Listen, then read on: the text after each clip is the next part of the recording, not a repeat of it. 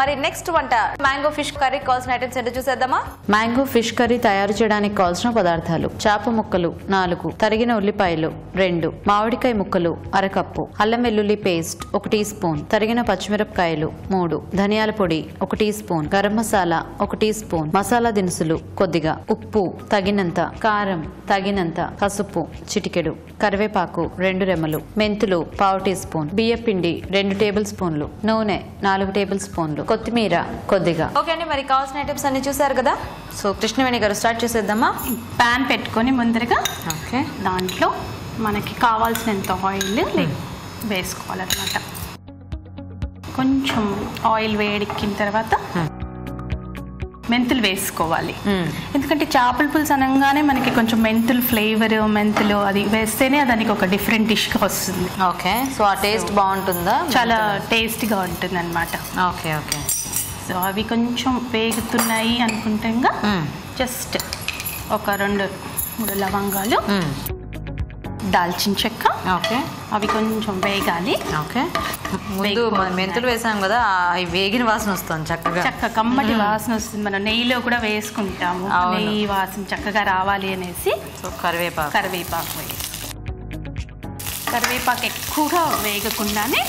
మనం ఉల్లిపాయలు వేసేసుకోవాలి. సో సన్నగా కట్ చేసేసుకో ఆ, సన్నగా తరిగిన ఉల్లిపాయలు వేసుకోవాలి. ఎందుకంటే మనకి గ్రేవీ కావాలి కదా.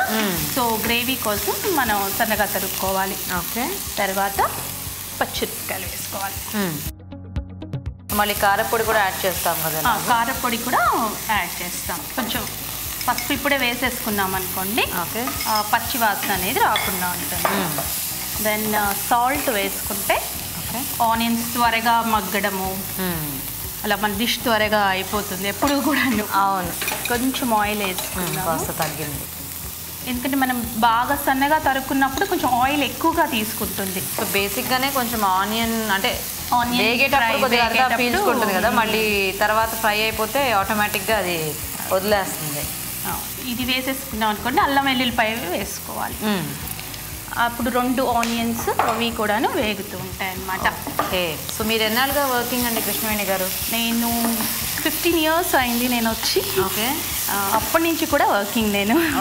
సో అంతకు ముందు కూడా చేశారా? ఇండియాలో కూడా చేశాను. నా కాలేజ్ అయిపోయిన తర్వాత కూడా నేను చేశాను. ఓకే. ఎక్కడ చేశారు మీరు కాలేజ్ అంతా? దుర్గాబాయ్ దేశ్ముఖ్ టెక్నికల్ తర్వాత మ్యారేజ్ తర్వాత ఇక్కడికి వచ్చేసారా? మ్యారేజ్ తర్వాత ఇక్కడికి ఓకే ఓకే. మీ హస్బెండ్ ఏం చేస్తుంటారండి? మా హస్బెండ్ జేఎస్ ఇంజనీర్ అండి. జేఎస్ అండ్ సివిల్ షార్జాలోనే వర్క్ చేస్తారు. ఇద్దరు సేమ్ ప్రొఫెషన్లో ఉన్నారనమాట లేదండి. ఇనిషియల్గా ఉండేవాళ్ళము. తర్వాత యూనో రియాలిటీకి కిన్ అయిన తర్వాత మారిపోయాము. Next. Mango pieces mango pieces అన్నమాట. మనకి సాన్నెస్ అంతా పులుపు అంతా వచ్చేదంతా కూడాను మనకి మ్యాంగోతోనే అవును. ఇంకా మనం ఎందు ఏది కూడాను యాడ్ చేయం. సో మామిడికాయ ఎంత పులుపు ఉందో చూస్తే దాన్ని బట్టి పులుపుని పెట్టుకొని మనము చూసుకోవాలన్నమాట. సో జనరల్గా ఇలాంటి రెసిపీస్ అన్నీ కూడా కొంచెం పాత వంటలు కదా? అంటే ఇలా మామిడికాయ వాడి చేసేది. అంటే ఇది మీరు ఎక్కడ నేర్చుకున్నారు? ఇది యాక్చువల్గా నేను మా హస్బెండ్ అడిగేవారు అనమాట నాకు ఎక్కడో తినేసి ఎక్కడో తిన్నారు. పార్టీలో ఎక్కడో తినేసి. వచ్చి మిమ్మల్ని చేయమన్నారా? అలానే కాదు ఇప్పుడు ఫ్రెండ్స్ అలా చేస్తా అనమాట సో దానికోసము నేను నేర్చుకున్నాను. ఒకసారి అలా చూసి ఫ్రెండ్స్ని అడిగి నేర్చుకున్నాను. ఓ నైస్ నైస్ సో మీ వారికి ఇది బాగా నచ్చింది అనమాట చాలా బాగా నచ్చింది. ఓకే. తను బేసిక్గా ఏ వెరైటీ చేసినా ఇంట్రెస్ట్ చూపిస్తారు తినటానికి. ఎంకరేజ్ చేస్తారు ఎంకరేజ్ చేస్తారు. సో నాకు కూడా కుకింగ్ అనేది ఉంటుంది. ఇంట్రెస్ట్ ఉంటుంది ఏం పేరు మీ వారి పేరు? విజయ్ ప్రసాద్ నగరం విజయ్ ప్రసాద్ ఓకే ఓకే. కొంచెం ధనియాల పొడి వేసుకుని. సో అయితే మీ వారికి ఫుడ్ ఇంట్రెస్ట్ అన్నమాట. మ్మ్, మా పెద్ద పాపకు కూడాను కొంచెం నాన్ వెజ్ అది ఇష్టం. ఇష్టం. సో. నాకు ఇంట్రెస్ట్ ఉంటుంది. చేస్తే వాళ్ళు ఇష్టంగా తింటారు కాబట్టి. మీకు ఇష్టమైన ఇంటికి సరే వాళ్ళ కోసం చేస్తారు. మీకు? పర్వాలేదు. మ్యారేజ్ అయిన తర్వాత నేను నాన్ వెజ్ తింటూ నేర్చుకున్నాను యాక్చువల్గా. ఓ అంతకు ముందు మీకు అంత లేదా? అసలు టచ్ చేసేదాన్ని కూడా కాదు. ఓకే. సో కారపొడి. ఇది పుదీనా వేసుకోవాలి. సో ఫిష్ మీరు కూడా ముందు మ్యారినేట్ చేసి పెట్టారా? పెట్టానండి. సాల్ట్ చిల్లీ పౌడర్ దెన్ పసుపు. పసుపు, మూడు. చక్కగా కొంచెం ఆయిల్ వేసేసుకుని ఒక ప్లేట్లో తీసుకుని దానికి బాగా పట్టించుకుని ఒక ఆరు గంట పెట్టుకున్నామంటే ఆ కొంచెం ఆ ఉప్పు అంత పడుతుంది సో ఎంత బాగా చెప్తున్నారు కొద్దిగా ప్లేట్లో తీసుకుని ఉప్పు కారం. ఈవిడికి ఇప్పుడు నాన్ వెజ్ బాగా ఎక్కువ ఇంట్రెస్ట్ వచ్చేసినట్టుంది మీకు మీ- వాళ్ళకి అందరికీ ఉండి మీకు కూడా వాటి మీద ప్రేమ పెరిగింది చూసారా? సో నెక్స్ట్ టైం బేసిక్గా ట్రైనర్ కాబట్టి. నేను ఎంత డీటెయిల్డ్గా ఎక్స్ప్లెయిన్? చేయగలుగుతాను. బాగా చెప్తున్నారు యాక్చువల్గా. సో దీంట్లో ఇప్పుడు ఏమేద్దాం మనం కొంచెం సాల్ట్ వేసుకుందాం. ఇందాక వేసుకున్న సాల్ట్ జస్ట్ వాటికి మగ్గడానికి. మగ్గడం కోసం. ఇప్పుడు మనం ఇది యాడ్ చేసాం కాబట్టి. కొంచెం సాల్ట్ పడుతుంది. వాటర్ అయినా వాటర్ వేసుకోవాలి మనం. అది ముక్కలు ముక్కలు మునగాలా? మొత్తం వేసేసాం. దీంట్లో ఇంకొక మ్యాజిక్ ఇంగ్రీడియంట్ ఉంది ఏంటది? Magic అంటే? అనమాట బియ్యం పిండా ఓ థిక్నెస్ కోసం థిక్నెస్ కోసం. ఇది కొంచెం మరిగాక అది యాడ్ అది కొంచెం మరగాలి. బాగా. సో తర్వాత మళ్ళీ ఇదే వాటర్లో మనము fish pieces add fish pieces వేసుకోవాలి. ఇప్పుడు ఏమవుతుందంటే ఫిష్ ఇలా పేస్ట్గా అయిపోతుంది అనమాట సో విడిపోకుండా ఉండాలి. అన్ని ఫిష్లతో చేసుకోవచ్చు. బట్ ఆ ఫిష్ అనేది కొంచెం నీళ్ళల్లో హాట్ బాయిల్ అయిపోయిన నీళ్ళలో వేసినప్పుడు అది గట్టిగా అలా నిలబడే ఫిష్ని ఎంచుకోవాలి. ఎలా తెలుస్తుంది మనకి? అంటే ఎక్స్పీరియన్స్ ద్వారా. వండుతూ వండుతూ ఒకసారి ఒక చేప తెచ్చి వండారనుకోండి అది ఊడిపోతే నెక్స్ట్ టైం అది తేవద్దు. ఇంకో చేప తెండి అది కొద్దిగా ఊడింది అనుకోండి అది కూడా తేవద్దు. సో ఫైనల్గా ఏది పూర్తిగా ఉడుకుతుందో ఊ- ఊడకుండా అది ఈ కర్రీకి ఫిక్స్ చేసుకోవాలి. కింగ్ ఫిష్ అది ప్రిఫర్ చేస్తాం. King fish. తెలుగులో మరి అక్కడ ఏమంటారో నాకు తెలియదు తెలుగులో. సో మరి వెయిట్ చేద్దామా. ఇప్పుడు మీకోసం ఒక చిట్కా. సో మహాలక్ష్మి గారు ఇప్పుడేం చిట్కా చెప్తున్నారు? ఇప్పుడు హెయిర్ కేర్ గురించి. ఎస్పెషల్లీ ఏంటంటే ఇప్పుడు షవర్స్ అన్ని వచ్చేసాక అందరికీ టబ్ బాత్స్ షవర్స్ అలవాటు అయిపోయింది అవును. బేసిక్గా ఏంటంటే మన రూట్స్ చాలా వీక్గా ఉంటుంది వెట్గా ఉన్నప్పుడు. డైరెక్ట్గా షవర్ తల మీద పెట్టుకుంటే అది మనకి వీక్ అయిపోయి మనం కోమ్ చేసినప్పుడు కానీ వాష్ చేసుకున్న తర్వాత రాలిపోతూ ఉంటుంది. సో అడ్డం పెట్టుకొని చెయ్యి వాష్ చేసుకుంటే హెయిర్ లాంజివిటీ పెరుగుతుంది. And not only that shampoos కానీ కుంకుడుకాయ రసం కానీ డైరెక్ట్గా తల మీద పోయకుండా ఒక చిన్న బౌల్లో జస్ట్ వాటర్తో మిక్స్ చేసి కనుక వాష్ డైల్యూట్ చేసి వాడుకుంటే it's very good. For hair care అన్నమాట. సో అయితే షవర్ డైరెక్ట్గా పట్టడం వల్ల కూడా మనకి హెయిర్ ఫాల్ ఎందుకంటే రూట్స్. వీక్ అయిపోతాయి. ఎందుకంటే ఆ- ఆ pressure we don't feel but ఏంటంటే అది ఆ ప్రెషర్ డెఫినెట్లీ రూట్స్కి తెలుస్తూ తెలుస్తుంది. సో అది వీక్ అయిపోతాయి అనమాట Oh, సో అందుకని చెయ్యి అడ్డం పెట్టుకుని ఆ షవర్తో దాని మీద కొంచెం. చేయం పడేటట్టు పోసుకుంటే బాగుంటుంది. ఓ చిన్నప్పుడు అందుకే పిల్లలు తల మీద పెడతారు, అడ్డం పెడతారు, yeah. ఓ నైస్ నైస్ అండి. మంచి చెప్పారు. థ్యాంక్ యూ సో చూద్దామా కృష్ణవేణి గారు? మ్మ్, తప్పకుండా. మంచి భలే మరుగుతోంది. సో సరిపోతుందా ఇలాగా? ఇంత మరుగు వస్తే చ- సరిపోతుందండి. ఎందుకంటే అదే హీట్లో మనము మ్యారినేట్ చేసుకున్న చేపలు. చేపలు వేసుకోవాలన్నమాట. యాక్చువల్గా ఈ మామిడికాయ ముక్కలు ఎలా ఉన్నాయంటే ఆ చిన్న చిన్నవి ఉంటాయి. ఏంటి ఫిషెస్? మెత్తడ్లా మెత్తడ్లా ఉన్నాయి. సో మీ నేటివ్ ఎక్కడండి? ఇదేమిటి ఇలా ఇలా ఇదవుతుంది? అంతేనా? అలా అవుతుందా? అలా అవుతుందండి. ఇలా గుంటలాగా అవుతాయా?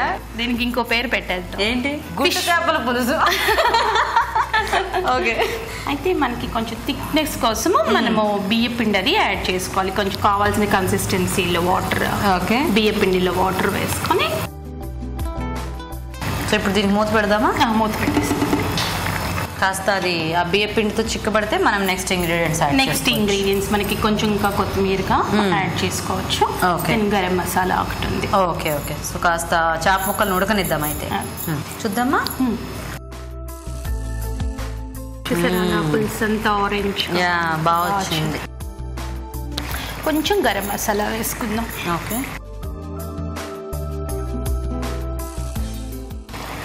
సో జనరల్గా అంటే మీరు పెద్ద పీసెస్ వేశారు కదా ఇందులో? అవునండి. ఏ చేప ముక్కలైనా మనం వేసుకోవచ్చు కదా? అవునండి. అంటే అది విడిపోకుండా చూసుకోవాలి అదే. అది. మెయిన్. ఓకే. సో ఎక్కువ యాక్చువల్లీ కదపకూడదు.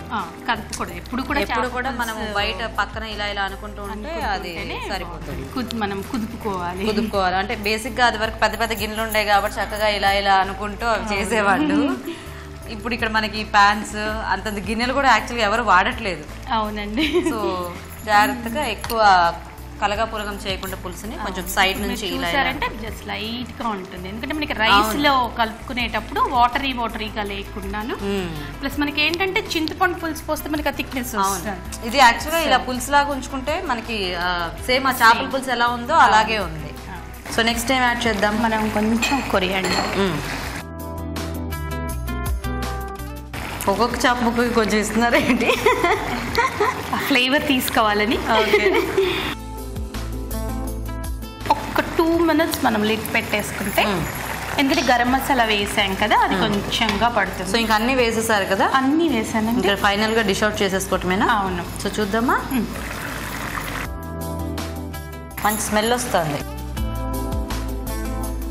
ఈ చేప ముక్కలు దీంతో పెడదామా? ఇవి చక్కగా విరిగిపోకుండా బాగున్నాయి.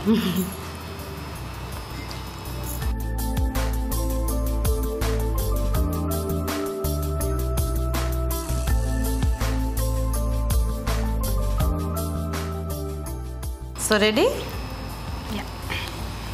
Okay so mango fish curry. Okay మరి వేడివేడిగా మ్యాంగో ఫిష్ కర్రీ కూడా రెడీ. టేస్ట్ చూసే ముందు తయారీ విధానం ఇంకోసారి చూద్దాం. మ్యాంగో ఫిష్ కర్రీ తయారు చేసే విధానం. చాప ముక్కల్లో ఉప్పు పసుపు కారం కొంచెం నూనె వేసి బాగా కలిపి నానబెట్టుకోవాలి. పాన్లో నూనె మెంతులు మసాలా దినుసులు కరివేపాకు ఉల్లిపాయ ముక్కలు పచ్చిమిరపకాయలు పసుపు ఉప్పు వేసి వేగాక అల్లం వెల్లుల్లి పేస్ట్ వేసి వేయించాలి. తర్వాత మామిడికాయ ముక్కలు ధనియాల పొడి కారం పుదీనా ఉప్పు వేసి తగిన నీళ్ళు పోసి మరగనివ్వాలి. చేప ముక్కలు దీనిలో వేసి ఉడకనివ్వాలి. బియ్యపిండి నీళ్ళలో కలిపి దీనిలో పోసి దగ్గర పడినివ్వాలి. ఆపై గరం మసాలా కొత్తిమీర వేసి కాస్త మగ్గనిచ్చి సర్వ్ చేసుకుంటే మ్యాంగో ఫిష్ కర్రీ రెడీ.